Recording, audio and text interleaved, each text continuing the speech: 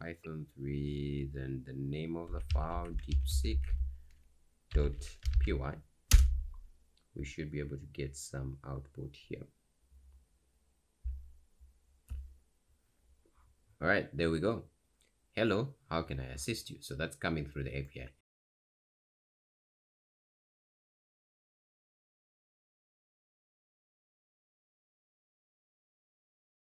there's a new model in town. This one is you know it's open source um, and it's made by a chinese company. It's called deepseek. So in this video um, i just wanted us to test out the api and then also to have a look at you know how it performs uh, basically. If you go on the deepseek website that is deepseek.com you should be able to see this simple interface. Uh, one thing I, I noticed about it you know the moment i go to this website is that it's very simple. Uh, straight to the point. They give you what you want to see. They you know the buttons are just there right in front of you. I think i really like the interface.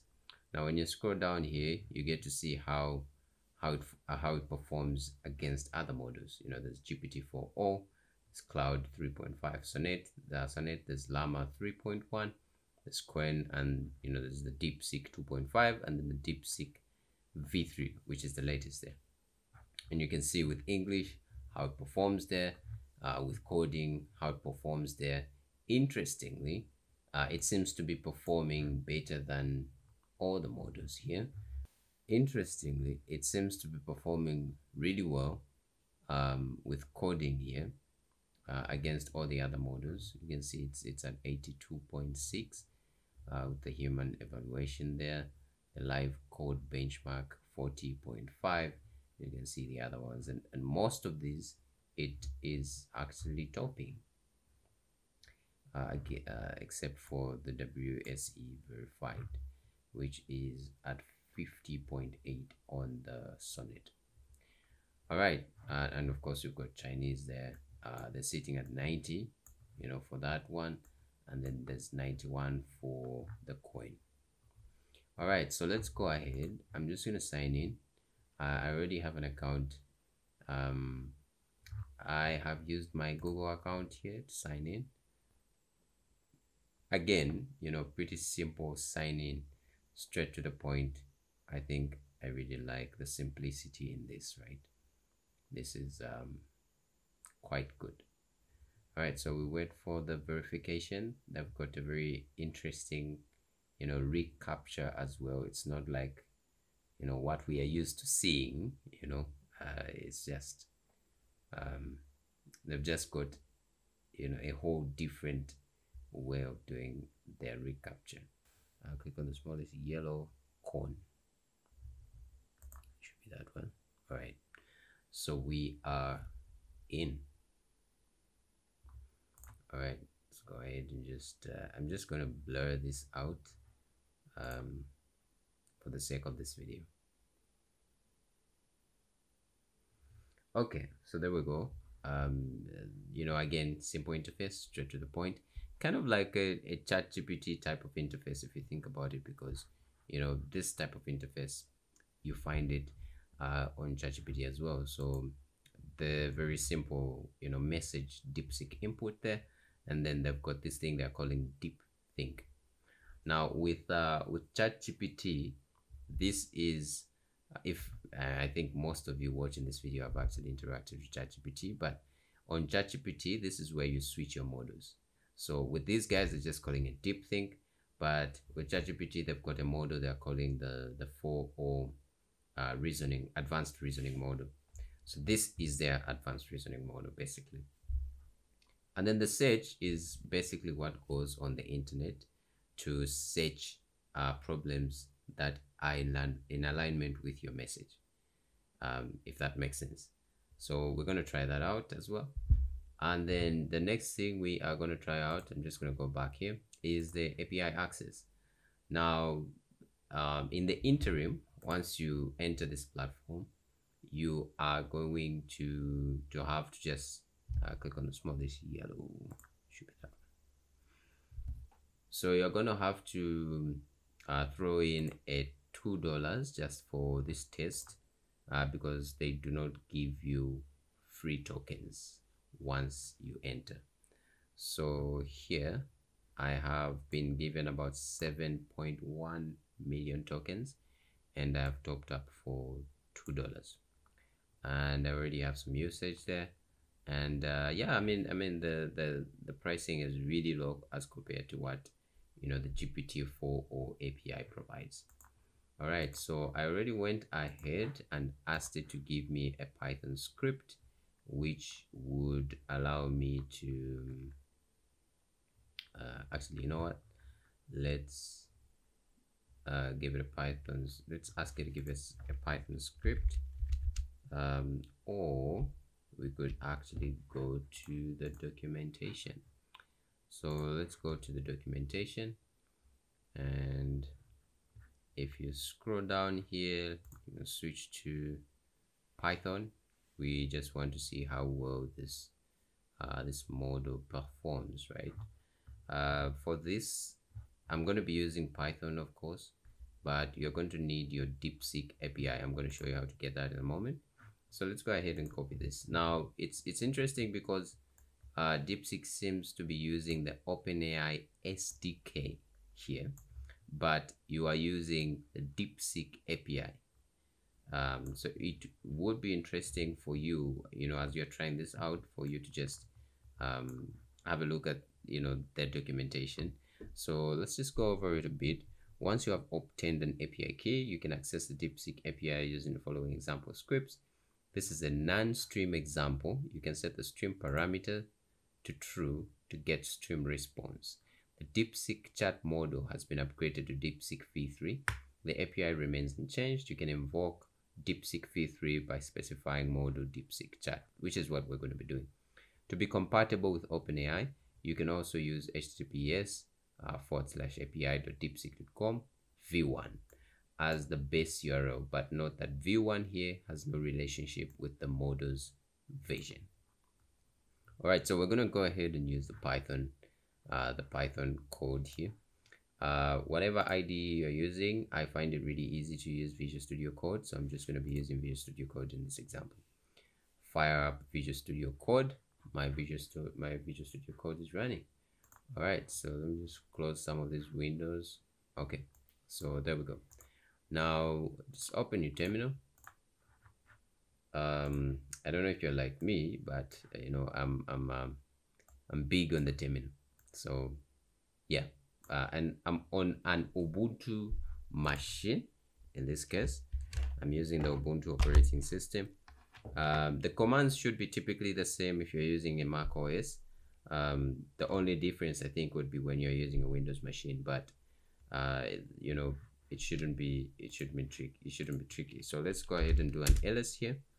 Um, uh, I'm just gonna create this inside document. Oops, documents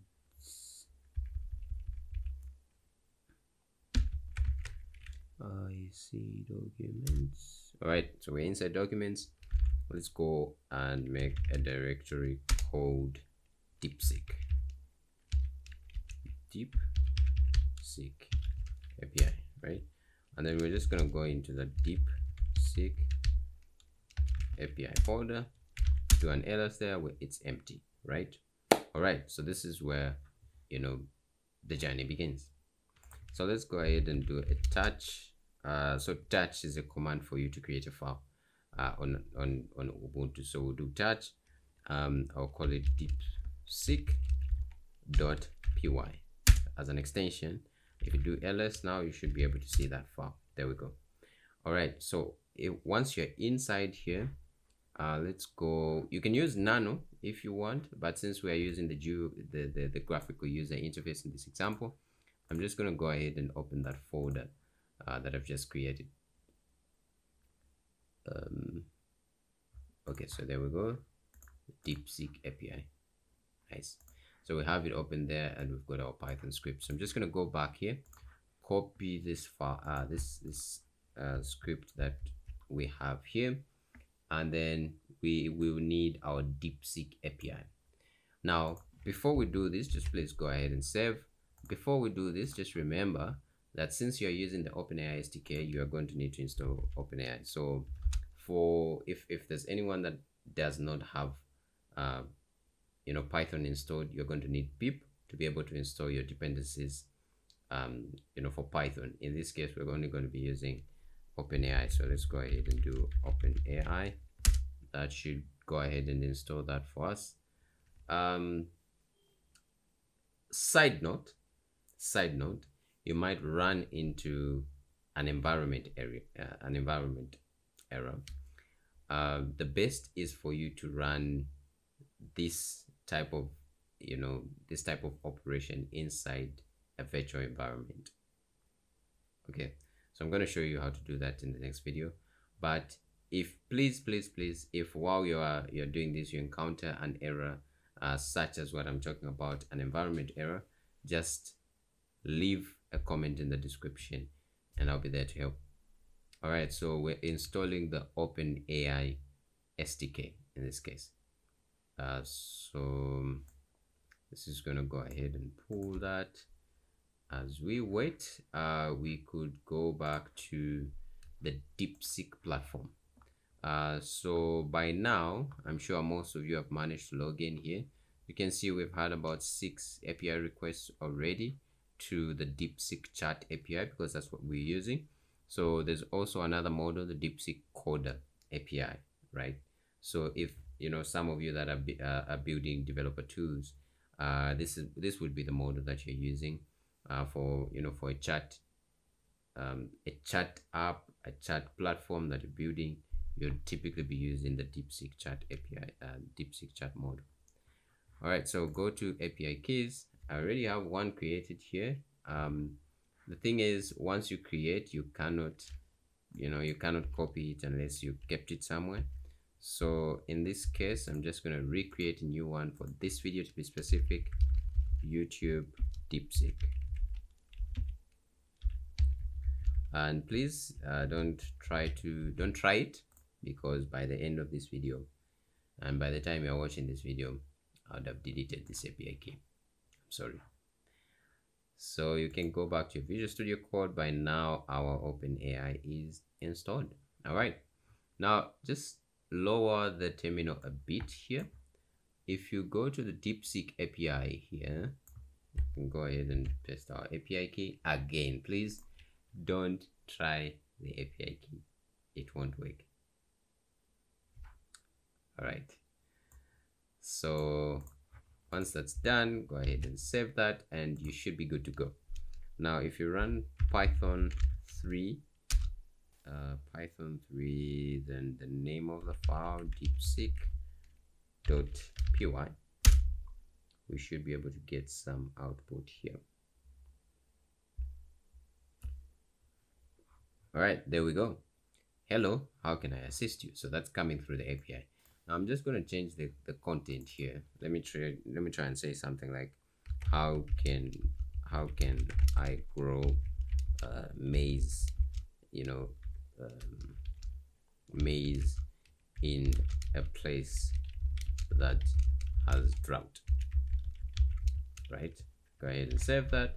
Run the same command. You can press the up, the up arrow too to be able to get the same command. Press enter you'll be able to see the output. So let's see what this model gives us.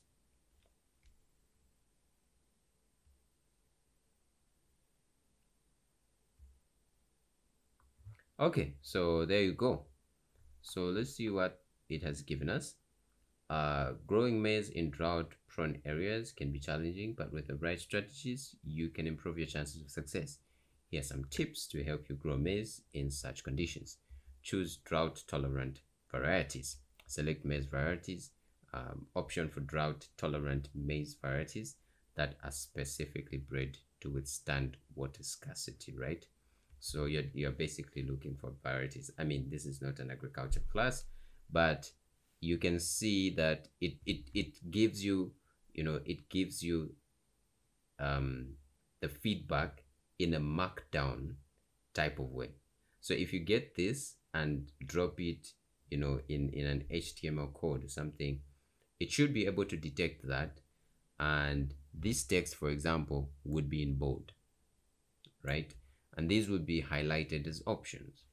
So um, of course most of you understand what markdown is. So as you can see you know it, it gets to give you all this and um i mean this this model seems to be pretty good. Um from here if if you want to go ahead and you know continue the implementation you would install flask and use flask here and be able to just create you know endpoints and apis that you can use in your mobile applications to be able to to use uh to use this model. But i just wanted us to go over you know kind of like what deepseek offers in terms of like you know uh the api and the model that they have. Um i hope you learned something because you know in the process of making this video and in the process of coming up with the idea for this video i did learn something. Um just side note uh, there is a right i see it's not popping up here but there is an extension that in the process of creating this video i came up with. So basically if you're on a screen like this it's able to read your screen uh, check what's on the screen give you suggestions on what you need to do next. If you're creating a report it's able to tell you to say hey, listen you need to optimize for this because this number looks lower than this and this and that and all of that. I hope you learned something in this video. Please don't forget to leave a like and if you've got any question leave a comment. And i'm going to see you in the next video. Cheers